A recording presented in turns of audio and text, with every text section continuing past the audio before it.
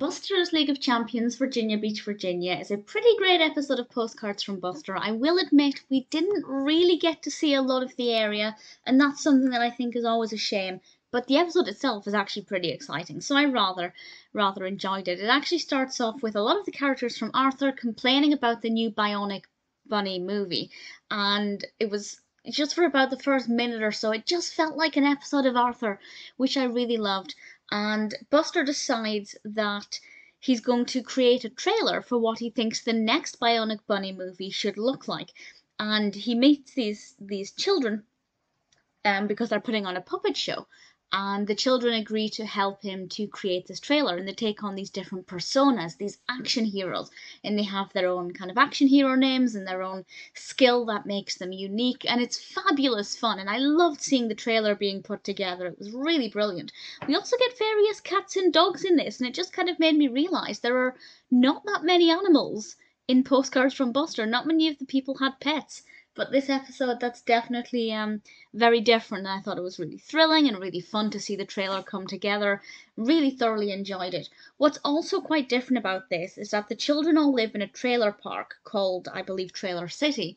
And up until this point, I think the children have all lived in kind of quite big houses. This is something a bit different, so certain children will be able to relate to this perhaps a little more than previous episodes. I will say the living arrangements made me feel sick with claustrophobia. Five children share one bedroom, and by bedroom, it's a cupboard. And if, if it works for them, that's fantastic. Although it's quite interesting because, certainly in the UK at least, it's actually, I think it's illegal for children over a certain age to share a bedroom with a child of a different sex.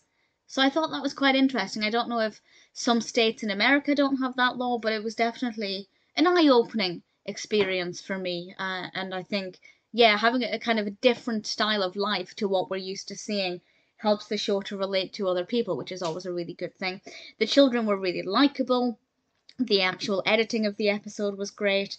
There's a point where we get to see we see the trailer um, where they live in live action, and then it cuts to Buster imagining it in animation, and it's brilliant. Just seeing that switch between the two was just so fun, and um, something that happens every now and then with postcards from Buster.